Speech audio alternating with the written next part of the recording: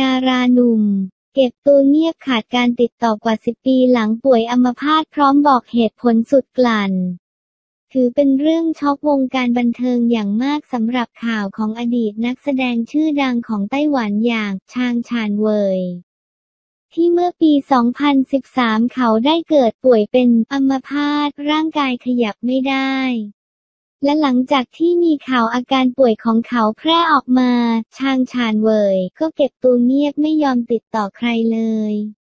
โดยมีเพื่อนสนิทอย่างกูดีพยายามติดต่อมาตลอดแต่ไม่สามารถติดต่อได้เลยจนกระทั่งครอบครัวของชางชานเวยได้ออกมาบอกความจริงกับกูดีถึงสาเหตุที่ชางชานเวยเก็บตัวมาตลอด 4 ปี นั่นเพราะเขาไม่อยากให้ทุกคนเห็นภาพในวันที่เขาอ่อนแอและมีสภาพเช่นนี้ เขาอยากให้ทุกคนจดจำเขาในแบบที่เขาเคยเป็น เพื่อเป็นความทรงจำที่ดี